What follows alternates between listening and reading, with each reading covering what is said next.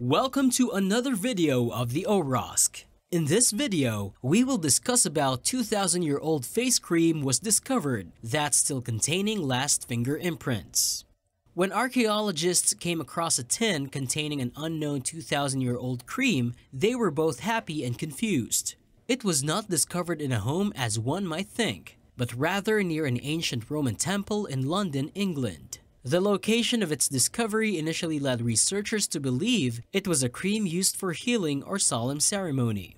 However, a detailed analysis was able to reveal its ingredients animal fat, starch, and tin for pigment, revealing that it was none other than a tinted Roman face cream.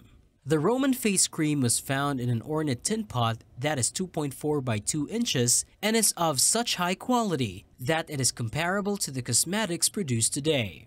When the archaeologists opened the pot, they were almost knocked over by the toxic smell. This type of face cream would most likely have belonged to a wealthy woman, or possibly a temple prostitute. The temples were not just constructed and used by the soldiers, but were being utilized by those different classes and standings. Was the owner of this cream Roman or a Briton? We do not know, but we do know that they agreed with Lancôme and decided to believe in beauty, or at least the Roman version of beauty. This find supports the fact that Roman culture was thriving in London at this time, and there was a desire to incorporate all things Roman. Roman face cream was traditionally created with lead to create the desired tint. Lead was not as readily available in the British Isles, but tin was, and the manufacturer of this cream went to the trouble of recreating a similar face cream with local ingredients rather than possibly importing it.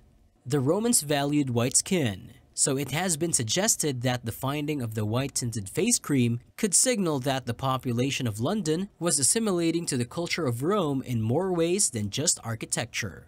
I know, you are also surprised with this video. Let us know what you think about this cream. I hope you like this video. Please don't forget to like and subscribe to this channel. Thanks for watching.